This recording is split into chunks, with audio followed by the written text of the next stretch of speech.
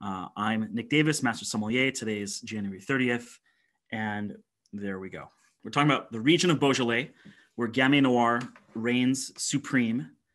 And throughout, you know, we'll talk about the featured wines as is important, but the um, the main takeaway from this presentation is about the region itself and covering all the different possible styles that you'll see in Beaujolais. So, um, first of all, let's put Beaujolais on the map of France. I, I would actually say that this is the most central wine region in France. I mean, there's a few weird places like Côte Roannaise that are arguably literally more in the center, but I think Beaujolais, we could say, is like a central France appellation or region. It's kind of on the east side, but kind of smack in the middle. And it's not far from the city of Lyon. And Lyon is an awesome city. I've been there and they have uh, all kinds of cool stuff going on. It's a gastronomic epicenter, and all kinds of um, great chefs have come from there. Who was it? Was it Paul Bocuse was the famous chef from there? I, I think so. Uh, he passed recently, but anyways, Lyon is great, and it has the um, it has the Beaujolais region above it and the uh, Rhone region below it, so north and south. So it's got wine on either side, and then you just go east a little bit, and you've got Bugey and Jura and Savoie. Um, so great place to be in Lyon. I'd rather li- live in Lyon than Paris, uh, for sure. Not to uh, not to hate on Paris, but Lyon has it going on. And so within the Beaujolais region, the latitude is 46 degrees north. So that's pretty similar to Olympia, Washington, and also Montreal, Quebec, um, to add some context there.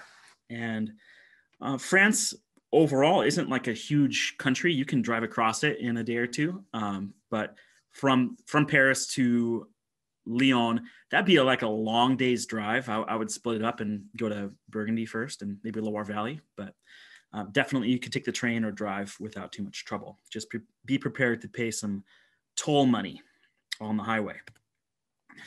Um, okay, so here we go. Okay, so unfortunately, I think Beaujolais is commonly associated with Burgundy. I mean, I'm drinking Beaujolais out of a Burgundy shaped glass right now, so I'm guilty as charged. But it's actually very different than Burgundy in many ways. Uh, the kind of the only similarities are in bold, and I think everything else is different. So the grapes of the Beaujolais region include Gamay Noir and Chardonnay. And in Burgundy, we do see um, Pinot Noir and Chardonnay. Gamay was kicked out a long time ago because it wasn't cool enough. Um, the price point is quite a bit different between these regions. The very tip top Beaujolais wines, even on the unicorn rare level, you're not going to pay more than $200 for like the rarest awesome Beaujolais versus the rarest Burgundy wines you might pay $2,000 for if they're like Grand Cru super rare producer. Um, so overall, it's kind of like Beaujolais is a country mouse versus um, Burgundy is a city mouse. Um, so the uh, the soils of the regions are going to be quite different. Um, Beaujolais is closer to the Rhone in terms of soil structure, uh, more of a granite uh, foundation on the soils versus limestone is what we see in um, Burgundy. The topography is also different we we know Burgundy is kind of on this uh, famous escarpment of like it's a single slope that goes from north to south within the Côte d'Or, especially that all these Premier Cru and Grand Cru are on this one long big slope. And Beaujolais is totally different. It has all these undulating hills and different angles and aspects, and the topography is just much more diverse in Beaujolais, and that's why they have all these different cru regions that have their own personalities. Is from the different topography. If we're going to speak generally, Beaujolais wines are good to drink in kind of the one to five year age range. And Burgundy wines, you can extend that longer, and there's a lot of aging potential with Burgundy. Now, that's not a hard rule. There, there are examples of Vin de Garde Beaujolais, which can age for uh, multiple years. And there are even examples uh, on the market right now of wines from the 90s in Beaujolais that are uh, interesting to drink.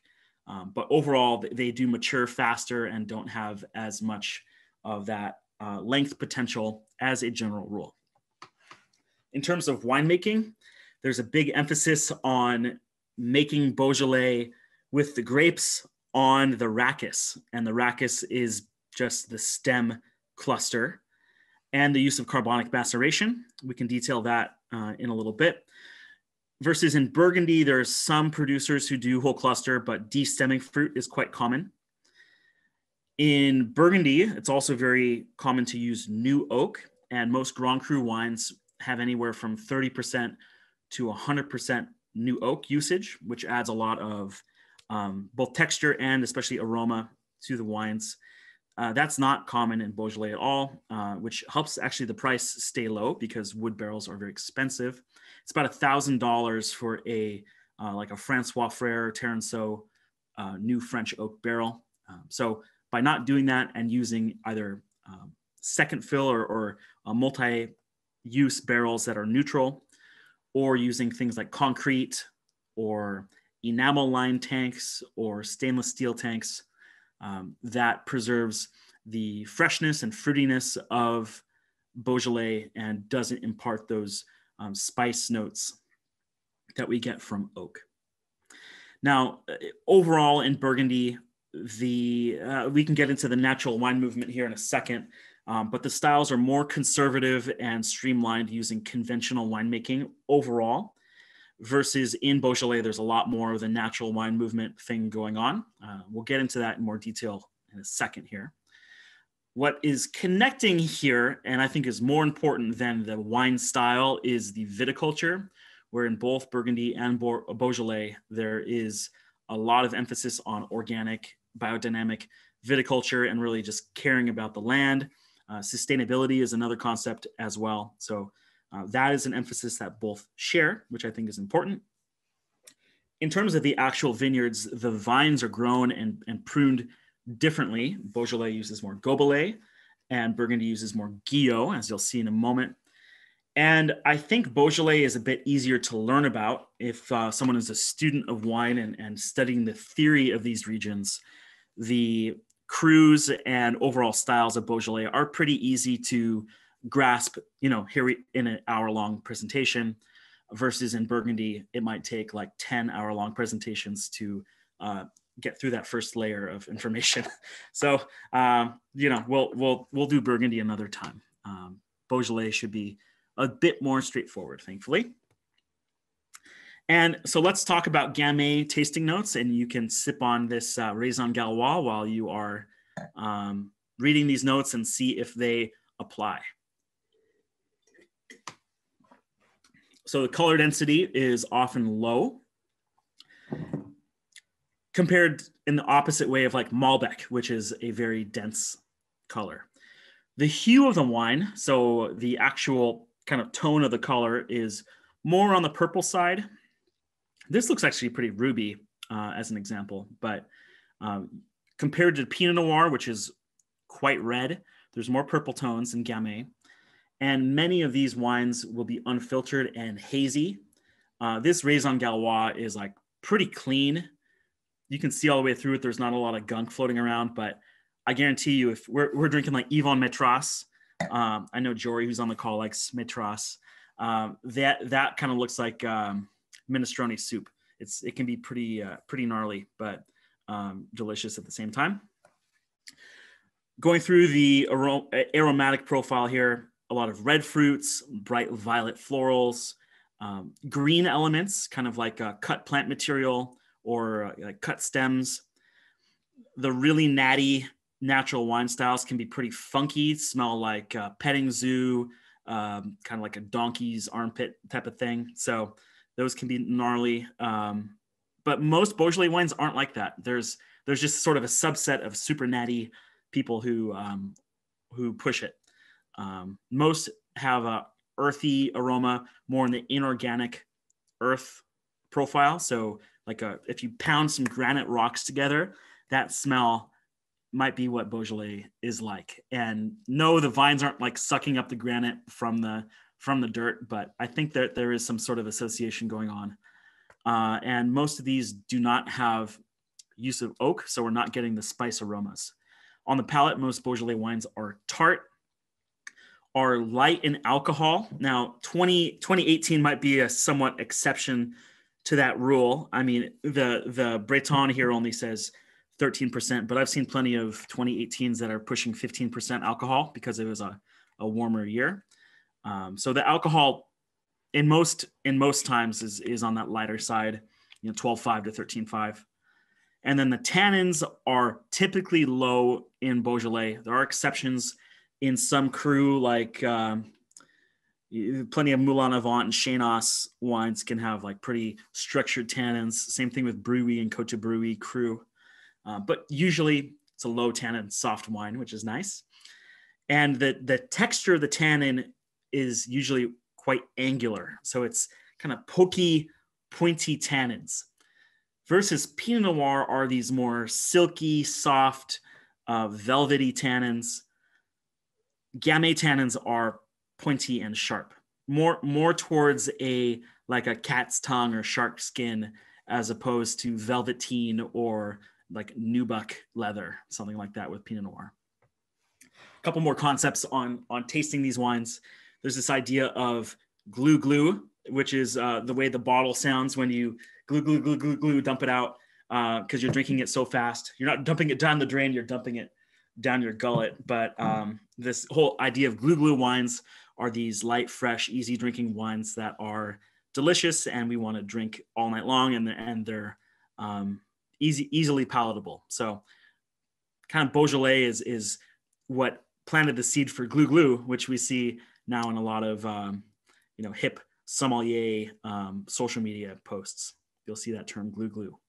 I do like it with a bit of chill. I think it uh, is refreshing that way. And we wouldn't ever want to chill like a Napa Cabernet Sauvignon or an Argentine Malbec that has a lot of structure because those high tannins are emphasized as as the temperature goes down. So if you if you chill Napa Cab, you know it can be okay, but the it's just going to clash with the the structure of the wine versus something like this or Freisa or Frappato, great with a chill and super refreshing if it's you know we think about summertime in a few months uh, when we're all out on the patio um, it's going to be great with a bit of chill. Some other favorite grapes that sommeliers love uh, of course gamay is uh, at the top of the list on white wines. Riesling and chardonnay are hugely popular and uh, i'll put nebbiolo in there as well. So if you're looking for a, a sommelier uh, direction in in your wine life, um, start with those four. Now, this whole idea about natural wine, it's it's become more and more popular the last 10 years or so, but it really had its roots in France. Um, you know, we're looking at some of these regions like Loire Valley and Jura. Um, Beaujolais is is in there too of where this whole natural wine thing came from. Uh, if we look at the New World, Columbia Gorge and Adelaide Hills, in Australia have a lot of natty wine producers. Elsewhere in the old world, Sicily and Galicia in northwest Spain have a, a lot of this natural wine focus. So it's kind of a trend, and you can always identify a natural wine. You know, it's easy to look at the label, and if it has like this illustrated label that's like pretty non conventional in terms of fine wine, that's a hint. The whole thing with like a wax capsule that's another uh, that's another hint. So if the top has been dipped in wax instead of uh, a foil capsule, that's that's a way to spot a natural wine. And uh, you know, there's there's a whole um, kind of stylistic paradigm of how the wines taste.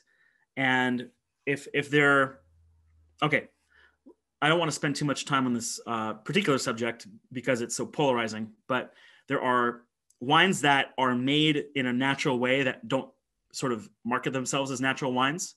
And then there's the ones that are like, oh, I want to be a cool kid and make natural wine. And they try really hard to market themselves as that. So a lot of these like Adelaide Hills, like, uh, or you look at like Lucy Margaux um, in Adelaide Hills or in Columbia Gorge, like Smockshop Band. Um, they, they are like planting their flag of I'm in the natural wine movement. Look how natural I am. And, and the wines um, within those even producers are, are highly varied from super clean and precise and delicious all the way to like what is going on? Is this even wine anymore? So it's a divisive topic but beaujolais has a lot of these natty daddies and it started with what's called the gang of four so a collection of four producers who who led the uh, the movement marcel lapierre which is what we're drinking with the raisins gaulois uh, guy breton here with the uh, the morgon also jean foillard jean-paul thévenet and Yvon Métras is kind of a, a, bonus member of the Gang of Four, Gang of Five. And the whole idea behind natural wine is okay, let the wine kind of make itself, or we're just not going to mess with it uh, very much. And I think the the most important part of natural wine is the is my opinion is the focus on organic viticulture and not adding a lot of chemicals to the vineyard and promoting a healthy ecosystem we talk about microclimate as just the area that's right around an individual vine. Mesoclimate is more the area of an entire vineyard. So I think if a whole vineyard is being taken care of in an organic or biodynamic way, that's going to promote a healthy ecosystem and invite a lot of maybe native plants and animals and even insects and birds um, and other organisms to to make a home there, and that is good. Um, stylistically, with making the wine, that's where there's a deviation into what natural wine is. And I think for some folks, the idea is okay, we're gonna like pick the grapes and then let the wine make itself, and we're gonna do nothing to it. And that's where I think things go in a, a bad direction. Um, one one thing that winemakers avoid is any sort of addition to the wine and in this way, there's this term raw wine, which I think is more accurate than natural wine, raw wine, where there's not a any kind of addition of sulfur or uh, chaptalization with sugar to the fermentation or nutrients for the yeast to eat or any kind of adjustments um, to the wine and avoiding things like fining and filtration, stabilization, new oak usage. So those are a whole bunch of different terms that would take a, a full presentation to discuss. Um, but basically, they're it's it's a little bit like um, I think acoustic guitar versus electric guitar with like um, you know with a distortion on it. I you know, and the the natural wine folks are like, no, no, no, acoustic guitar is the way to go. And Jimi Hendrix is sitting over here like, well, come on, where do I fit in? So um, the the the bigger conversation I think has to do with industrial wine, and if there's going to be a supermarket brand that's made with millions of liters a year, they're going to have to require all these interventions to to make uh, make their wine consistent, and and that's where a lot of problems occur. You know, with like five dollar grocery store wine. With most fine wine, you know, a certain amount of intervention I think is okay. So we'll we'll leave it at that for uh, for that topic. We can definitely discuss it more uh, later on. If you have any questions or comments during the presentation, um, please either put them in the chat in um, and and we can answer them uh, toward the end. We'll have a whole period of Q and A. If you have an opinion you want to share or a question for me, uh, do not hold back. Uh, a couple risks that occur with natural wines that are made in a lazy way is uh, the wines can oxidize, which means they might smell like rotten fruit or um, super nutty or spoiled. Uh, the wines can have a really sharp character because maybe acetobacter bacteria has taken over and produced a lot of acetic acid in the wine. Uh, maybe a yeast called Brettanomyces has taken over and produced a lot of 4-EP, which stands for 4-ethyl phenol. If you ever have like a, a peaty Scotch whiskey from Islay, that has a lot of phenols in it, which smells kind of like that barnyard uh, iodine. Um, you know, pretty pretty gnarly aromas. Um, so that yeast Brettanomyces can produce 4-EP. There can even be secondary fermentation. So if um, you know if the wine didn't go through malo, I'm getting into all these technical things, and I'd love to talk more about them, but we only have so much time. Basically, the you can have a sparkling red wine when you don't when you don't think you're going to be getting a sparkling wine, and that's no good. And the other thing is um, is a sense of mouse, and a lot of these natural wines are known for having a mouse smell or like a mouse cage or like a ferret cage. and not a great smell. And it's not totally clear what it comes from, but probably a bacteria. And my buddy Kane down in San Francisco, he has a company called Merchants of Thirst, which does a lot of um, natural wine focus. And their their mascot is the Mouse Hunter, is this cat Maddie the Mouse Hunter. And the idea is that uh, he wants natural wines that don't have mouse, and I'm into that. Okay, Whew. I'm, I'm covering all this crazy info, so just buckle up and and we're gonna get through it. But it's gonna be a power hour because uh, that's that's how we're how we're gonna party today. So uh, with Beaujolais, earlier when we were talking about Burgundy versus Beaujolais, I mentioned whole cluster versus carbonic maceration. Whole cluster is when the grapes are still attached to the rachis. So this picture here of the skeleton of the grape is the rachis and imagine all the berries attached to the rachis. That goes into a fermentation bin, and boom, the, the, the clusters are whole. The opposite of that is if the clusters go through a destemming machine where it kind of rotates them around and pulls the grapes off of the rachis. That's um, definitely required in um, Bordeaux, like with Cabernet varieties, or else um, you have issues with tannin because this stem it adds a sense of tannin to the wine. And tannin is that astringent bitter uh, sensation we get from from red wines. So if the rachis is included it's going to add a little bit of tannin and also flavor we see this whole cluster situation as being common with uh, gamay production in beaujolais syrah in the rhone pinot noir in burgundy cabernet franc in the Loire. And then in any New World area that's going to make those grapes, we'll also see the use of whole cluster. So it adds flavor, it adds tannin.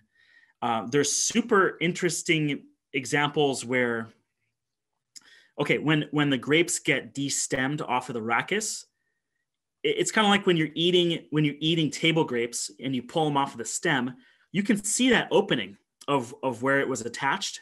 And if you squeeze a little bit, some juice will come out. So that's an opening. Um, if the grapes remain on on the skeleton without that opening, that means that yeast cannot make contact with the juice. The juice is where the sugar is, and yeast want to eat sugar. So if that seal is maintained, then the yeast won't have any way to eat the sugar. So this is carbonic maceration is where it comes into play of you take whole clusters, the yeast can't get in, and you just let the whole clusters sit. There will be an initial fermentation that goes on called carbonic maceration, where an enzyme, which is a kind of a chemical uh, magician, it, it will begin a fermentation inside of the grapes without yeast and will produce a small amount of alcohol and all of these esters, all of these chemicals that have a highly aromatic, um, highly aromatic quality. If you ever have a Hefeweizen beer from Germany, that will often have a lot of esters, a lot of these very fruity, like banana tones. And the process of carbonic maceration can cause those esters as well. So that's typical with this whole cluster situation. There are certain producers, let's say like Erica Orr here in Washington State, where they make these laborious experimental ones of clipping the individual berries off of off of the bunch but instead of destemming and creating that opening for yeast it's using scissors to snip the individual berries off so they'll go through carbonic without that stem flavor so um, definitely a, a, a, crazy thing to think about snipping you know a 100 berries off of a off of a bunch. Uh, it takes all day, but um, kind of two different things going on here as a main takeaway.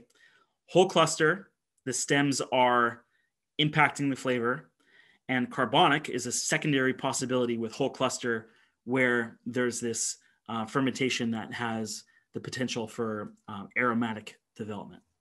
Okay. Let's take a look at vine training here in Beaujolais. This is an example of gobelet or goblet, kind of looks like a goblet. And this vine training is common in France and in Spain and in Greece and in Portugal many places in the wine world have Gobelets, and this is a very old school, traditional um, style of vine training. And even in California, like there's Zinfandel that's Gobelet, but the size is is a lot different in the scale. Um, so whether it's California or let's say Spain, the Gobelet can get big, almost like a tree. But in Beaujolais, they're little. They're they're like um, they're like a corgi sized vine.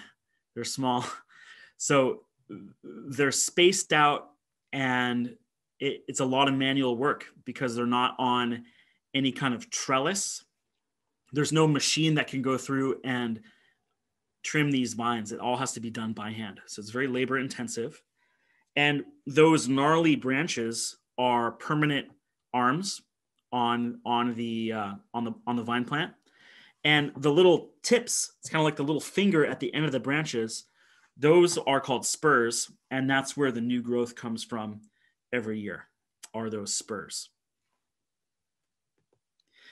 contrast that with burgundy versus uh, guyot training so this is a, another type of head trained vine but instead of the goblet where the spurs are kind of coming out in random directions, um, these are going to be connected to a trellis wire. So a bit more organized, uh, still difficult to machine, uh, deal with machines, but it is possible. Uh, most, like if we're up in Chablis, they do machine harvesting all day long. So the machine thing is possible with a trellis wire. And uh, this does still, it's pretty common for it to be by hand as well. And they're pretty close to the ground as well still kind of corgi sized, um, maybe Shih Tzu sized vines. So they're small. Versus American ones are like always, you know, Doberman sized or um, Mastiff. The grape itself, Gamay Noir, is cute. It's maybe the size of uh, maybe a baseball or a softball. It's not a giant cluster. And I like these Vermorel ampelography illustrations like you see on the right. That dates back to 1910, back when hand drawn ampelography was the best way to identify what vine you have. These days, there's DNA profiling and all this fancy science. Um, but the art that goes into that ampelography is, is quite nice. And if you want to see this in a book, you can pick up Wine Grapes by Jancis Robinson and Company. And all the uh, illustrations are in Wine Grapes. So that's pretty cool. And you can see Gamay on the vine, these little clusters and um, you know the berry size is actually pretty decent. Um, so that means that there's not as much skin uh, with a lot of juice on the inside. Versus Cabernet Sauvignon, the berries are relatively smaller, so there's a higher ratio of skin to juice. Okay, now work with me on this one here the region of Beaujolais, I think it looks like an egg.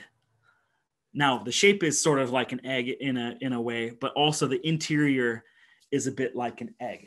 You have you have the outside is just Beaujolais AOP, and if we're looking at the uh, the map, that's that light pink um, outline, and that's kind of like the shell of the egg. Okay, if we're using our imagination here, and then this darker kind of purple magenta is Beaujolais Village. So it's a subset. And then the interior with all the different colors, that's kind of the eggy yolk.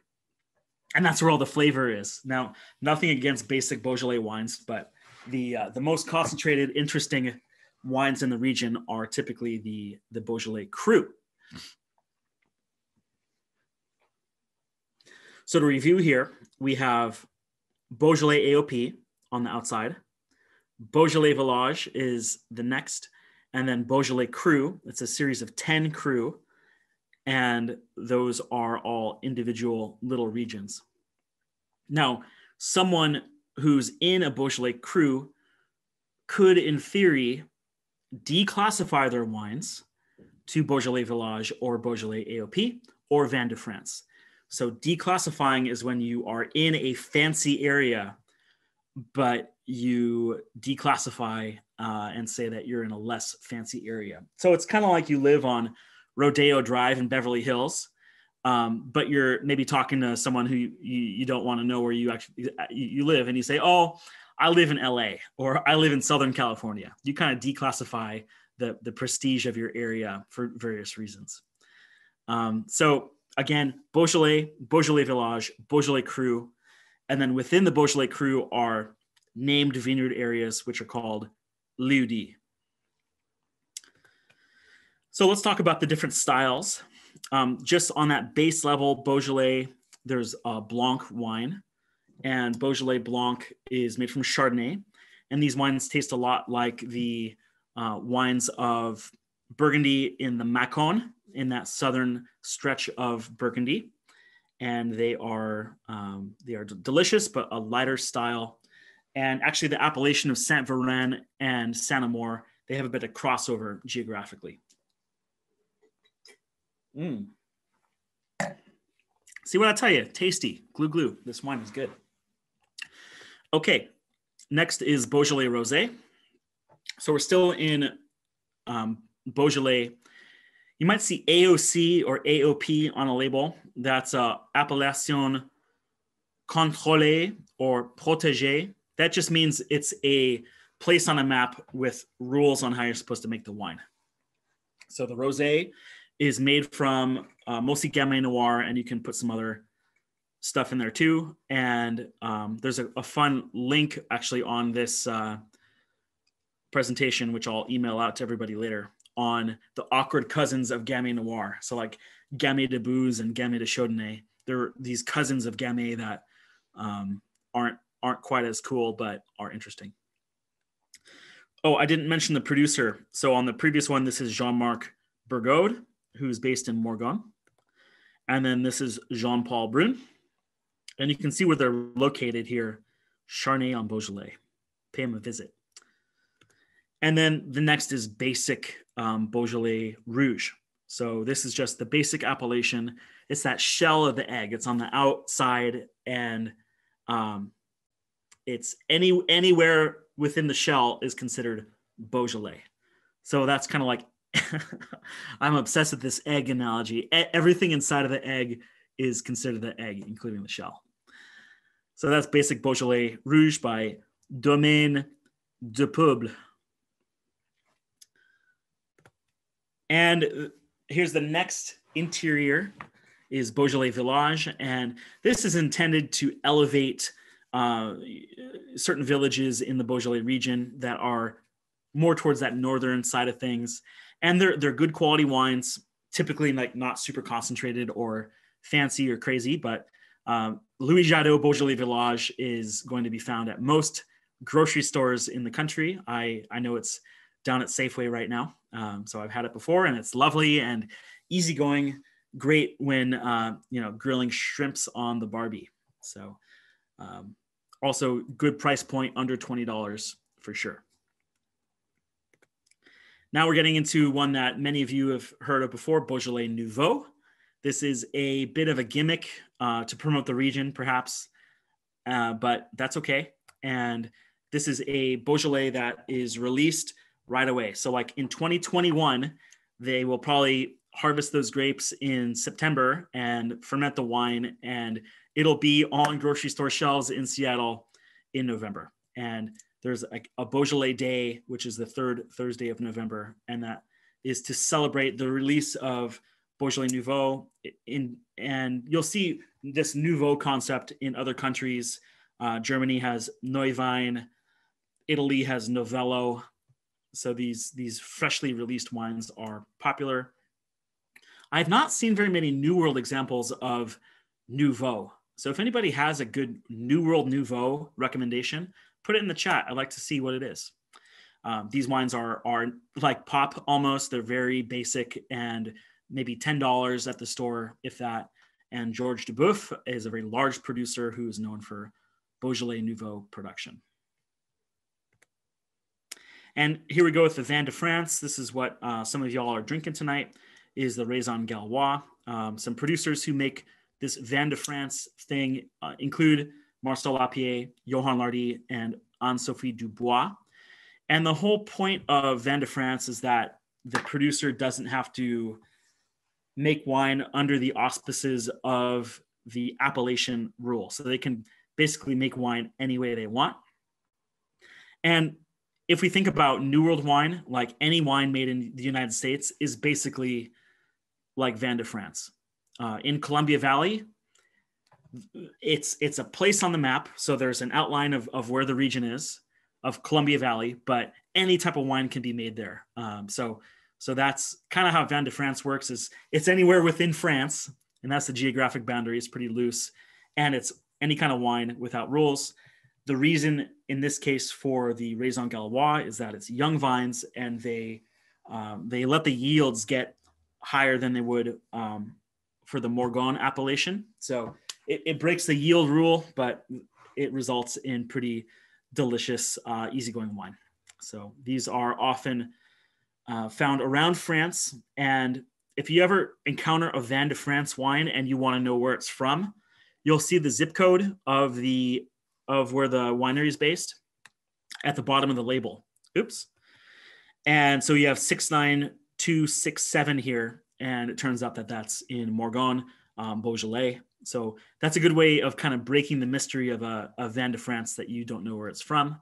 Uh, there's a lot of Vin de France on the market now, especially with this natural wine movement of folks who are breaking appellation rules and um, not wanting to uh, follow any guidelines. So that is what you will often encounter with a lot of these hip new wines. Uh, there is also Vin de France that's not trying to be hip; it's just trying to be cheap, and you'll just have basic, you know, table wine, red wine, and that was the original intention of Vin de France is just to have a economic option for making basic wine, but now it's turned into sort of a statement, kind of like in Tuscany, Toscana IGT it is where a lot of these super Tuscan producers will um, break the rules and make wine their own way and not be in Brunello di Montalcino or Chianti Classico. And this is a plug for our next uh, our next virtual virtual event. It's going to be in February. I haven't picked the date yet. Uh, pro- probably late February, and we're going to talk about Tuscany in Italy. If you're excited about that, put your hands in the air. So uh, that is something to look forward to. Okay, now we'll get into the real meat, the egg yolk, if you will, of Beaujolais, which are the cru regions. There's 10 in total. And when I was studying for the Master Sommelier exam, I always had a hard time memorizing these Cru of Beaujolais. And there's all kinds of mnemonics of how to remember it based on the first letter of each name. So like SJC. Um, so like C, I think it's like C, Jesus Christ, um, make fun cookies. I, I don't know. I forget what it is. My memory trick is a bit more visual. It's more of a visual mnemonic. So I will group the different cru, there's 10 total, into clusters of three, three, and two, and two. So in the first cluster, we have Saint Amour, Juliénas, and Chénas. And I think of a heart and a jewel and a cherry. So it's kind of like a heart that also looks like a jewel and a cherry. The heart is Amor, and the jewel is Juliénas, and the cherry is Chénas. So that's a little visual thing that you can plug in. The next three are Moulin Avant, Fleurie, and Chiroubles. Moulin is a windmill, and then Fleurie is like a flower, and Chiroubles to me sounds like cherub, which are those like little idiots that you put in the garden, like the little garden gnome kind of creepy guys. So that's a joke from my mom because uh, we had a family friend who used to call these cherubs little idiots. Anyways, um, that's my little memory trick is a windmill, a flower, and a cherub for Moulin Avant, Fleurie, and Chiroubles. Uh, the next are Régnié and Morgon are two grouped together. And I just think of two dogs that are awesome named Reggie and Morgan who hang out. I don't know. That's my image. And the last are Brouilly and Cote Brouilly. It's a couple of bros up on the hill. So um, there you have it. So we'll go through each of the cru briefly. I won't get into too much detail here for the interest of time, but uh, I will showcase one awesome producer of of each cru, and that will be a, uh, a nice reference point for you and i will email out the presentation um, so don't worry about memorizing all this right now uh, but Saint Amour is the farthest north cru, and it is uh, right next to the Macon uh, region of France, specifically Saint Véran. And word has it, my buddy Dustin in Chicago, um, I was asking some friends what they think is cool about Beaujolais, and they said that Dustin said that a lot of Saint Amour is sold in France domestically uh, for Valentine's Day because it's amour, you know, like love. It's like the love wine. So that's a cute story. This is a great example on the screen here of uh, Famille Dutraive, and they make a great Saint Amour. Next up is Juliénas. Juliénas is a neighbor to Saint Amour, and you can actually drive through all the crus of Beaujolais in a day. I've actually done that. And I, if you start from north to south, you just kind of wind through these super circuitous roads, and a lot of them are countryside roads. And uh, you'll find Juliénas after um, after Saint Amour. And this is a mid-weight style cru. Um, it's it's pretty accessible, easygoing, and Domaine Chapel makes a lovely Juliénas. Next is Chénas, which has more density compared to Juliénas. And this one, Paul Henri Thillardon, makes a kind of lieu-dit Chénas called Chassignol, and it is tasty and delicious. A wax capsule, so you know it's uh, so you know it's natty, but not too natty. Next is Moulin-à-Vent. This is a pretty easy cru to remember because it has a windmill and it has a literal windmill in the town. Um, so this producer here, Yvon Métras, is super known for Fleurie, which is a neighboring cru to Moulin-à-Vent, but does have some vines here. And if anybody has Métras and they want to share and drink some with me, uh, raise your hand and I will fly to you and we will drink Métras because it is very rare and very delicious, but often very intense and crazy at the same time. So, something to look for. If you see Yvon Métras at your local wine shop, get it, but buckle up. Okay, and right next door, Fleurie. Fleurie is a very famous cru. I would say it's second in line after Morgon. And this producer here, uh, Jean Foillard, is is the bee's knees and I think they are great, but it's expensive now. This Fleurie would probably retail for at least 60 bucks. So it's not cheap. It's getting into Burgundy territory as far as price. So watch out for that. But uh, it is good. And as the name suggests, the floral notes are real.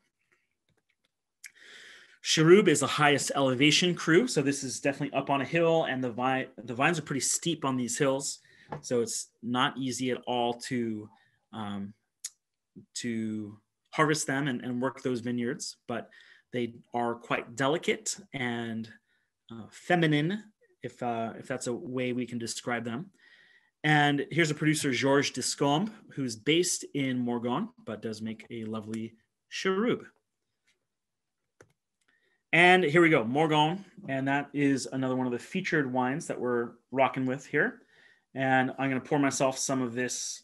And I'm not going to splash decant this one. I don't think it needs it.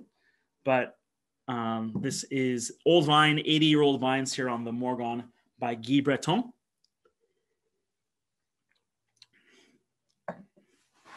And um, if, if you have this wine in front of you, I think it has.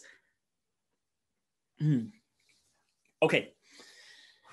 Let's think about this like um, okay, I love analogies.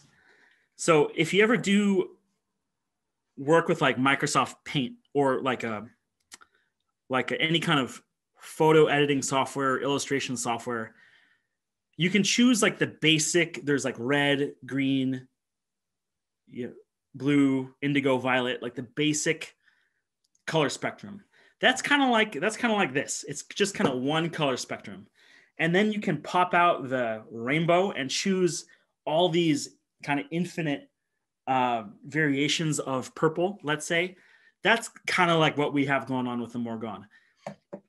It's sort of the same color spectrum, but there's like 18 tones of color happening all at once here.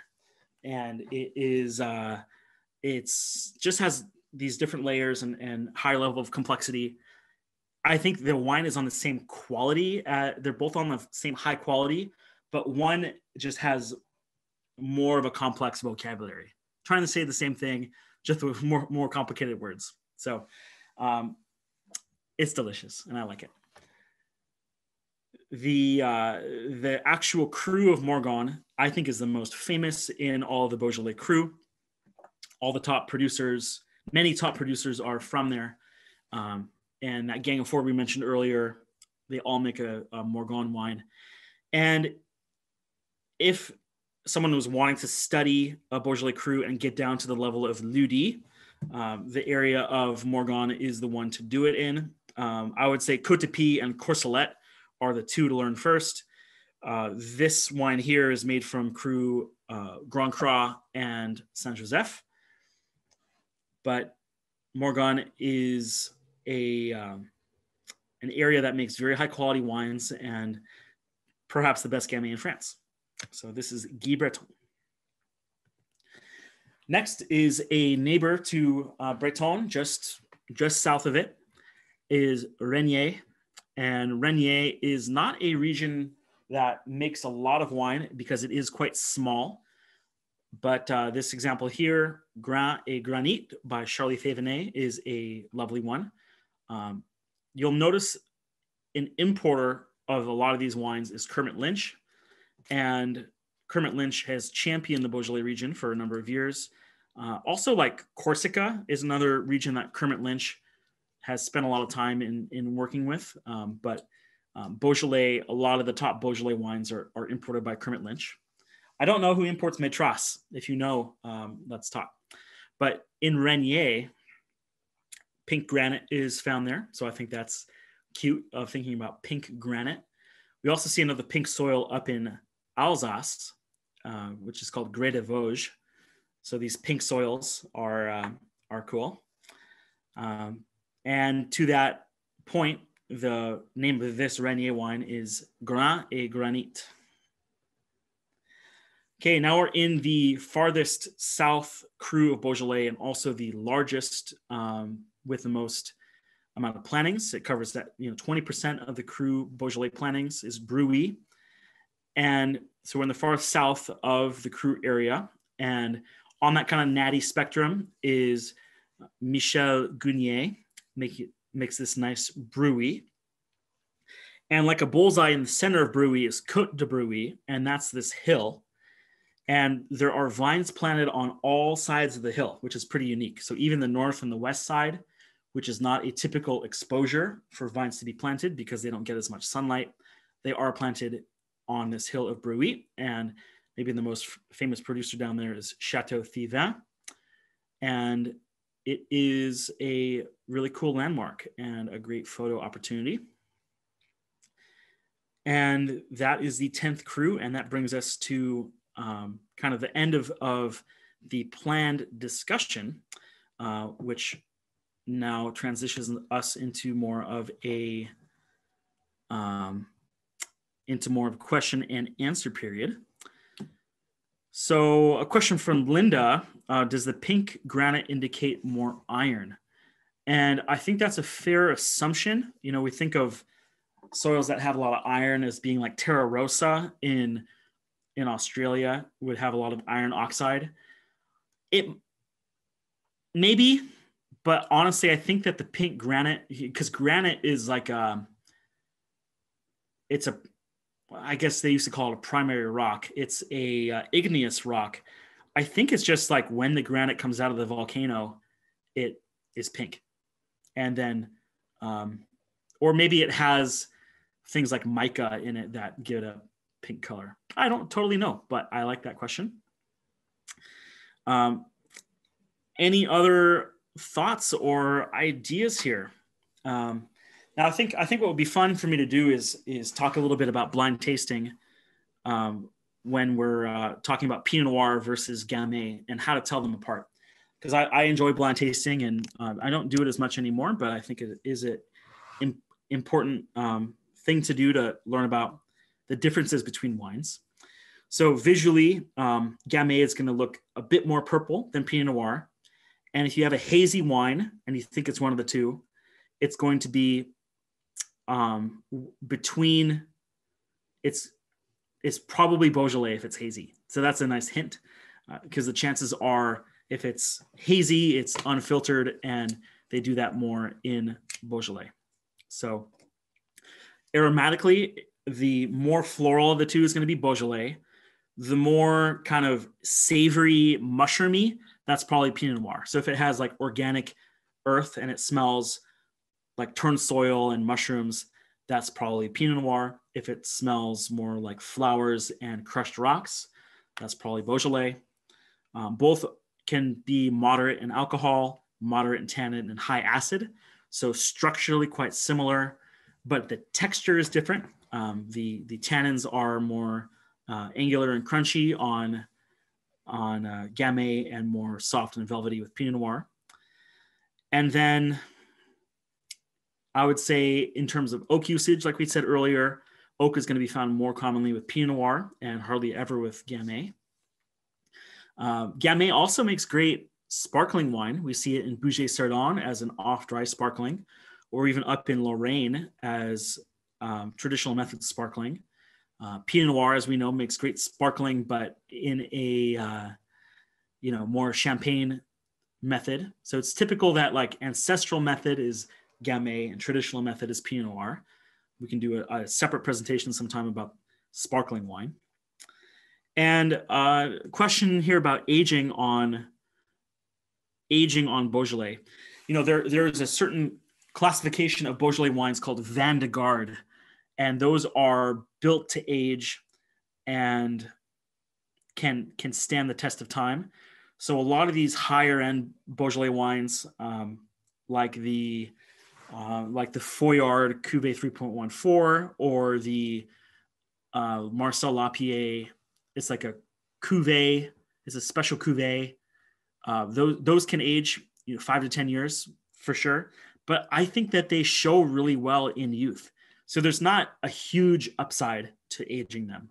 I think they can age if you want them to, but the I haven't had that many examples of aged Beaujolais that were better with 10 years of age compared to, um, you know, there's a lot of Burgundy that are pretty shut down in youth. Most like Nuits Saint Georges, you don't want to touch that for 15 years.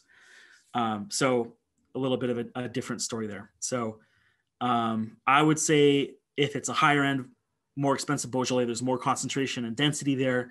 Sure, age it, age it for a while, and maybe pick up a case and uh, try one every year and have a, a fun exercise with that.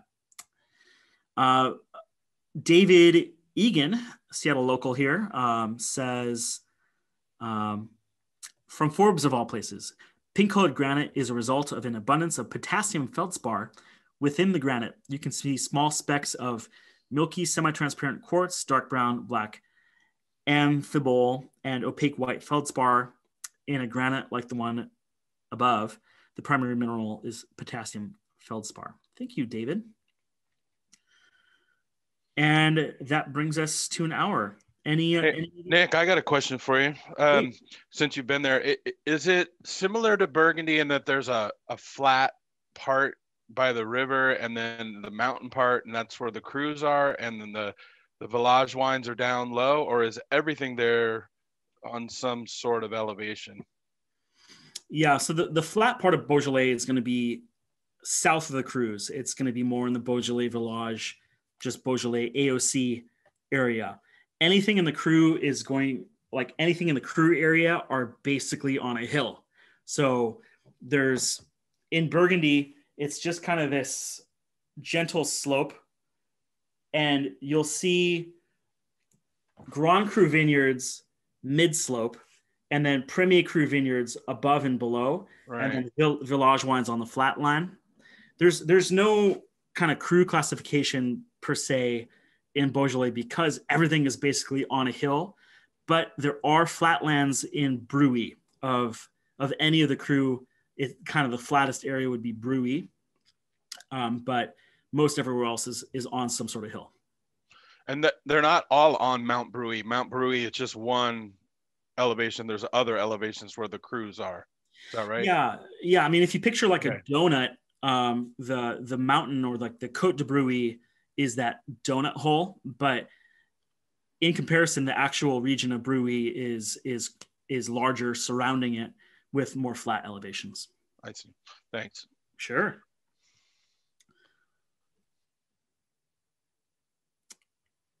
Okay, question from David. Do you see any of the non-Cru villages starting to gain uh, some notoriety? I mean, I think there's a possibility of that, but I don't really know if they end up getting named on the label, and I, I don't, I don't have any specific examples. Um, I think there is some argument for, you know, making an official Premier Cru system of some kind in Beaujolais, but if we look at the culture of the region, they're so much less formal than, you know, the Burgundians that I don't think they they have that intention to maintain a formal system. They're they're kind of freeform. Um, question about favorite New World Gamay producers. There definitely are some coming out of Willamette Valley that I think are are interesting. That seems to be a a decent region for Gamay Noir. Um, I, I think there's some California as well, but probably my favorite Oregon Gamay is from Failla. Failla is based in Napa Valley, but they do um, have have projects up in Oregon. So I'd say Failla Gamay is my favorite. I think that there are other producers doing a good job as well, um, but they're the only ones that come to mind right off the bat. Matt says RR wines in Carleton. I wonder if um, like lingua franca messes with Gamay at all. If so, that'd probably be pretty good. Uh, I bet you Eyrie probably makes a Gamay. They're in McMinnville. And if there were another producer, I'd be a Big Table Farm, um, Bow and Arrow. They're probably pretty good. Um, Oregon. The funny thing about Oregon is that if if there's a grape that exists there's someone who has brought a vine clipping back in a suitcase and has planted it in in Willamette Valley somewhere. Um, I know Chad Stock is a big fan of doing that with uh, obscure Swiss varieties and things. So um, there's definitely plantings of Gamay, but the the problem is they end up being super expensive because a lot of New World wines just are. And you know, I think it's a nice novelty to drink uh, New World Gamay, but you can get a better French version for half the price with with any likelihood. So, um, kind of a, a, debatable topic there. Uh, another thought about Gamay is that it does exist in other regions of France. There is good Gamay in the Loire Valley and also up north in Lorraine, which is by Alsace, and maybe a bit in Jura? Question mark. I think there could be some Gamay in Jura very little in Burgundy. It was kicked out by some duke, I think, um, like 500 years ago. I forget the exact details of of what it was, but basically they're like, we shall only have Chardonnay and Pinot Noir. Gamay is banished from Burgundy, and so it kind of got the boot. Uh, Philippe the Bold, that's right. Oh, Philippe. So, um, you know, Gamay kind of gets the short end of the stick. Uh, but what's interesting, and not everybody knows this, is that the old ancient grape Pinot Noir got together with the old ancient grape Gouais Blanc, and they had some children, and these children are all siblings. And the children include Chardonnay and Gamay Noir and Auxerrois and Romorantin and Melon de Bourgogne and Aligoté. So there are all, all these different offspring of the same parents. It just turned out that Chardonnay was sort of the um, the favorite sibling, and the others kind of got kicked to the curb in one way or another. But I'm a big fan of of the others as well, and it's very interesting. It's just like any family with a lot of siblings everyone will have their own unique personality and um, you know specialties. But you think of Chardonnay versus like Melon de Bourgogne of Muscadet, and they're they're they're quite different. Um, and Gamay is maybe the uh, the child who dropped out of high school, but then went and became, you know, uh, avant-garde artist in uh, the Lower East Side or Brooklyn or something, and uh, and ended up being very cool and hip and famous. So versus like Chardonnay went to you know Juilliard and is like a very you know proper formal violin player or something. So whatever, my analogies are are getting the better of me here. So we'll leave it at that for tonight.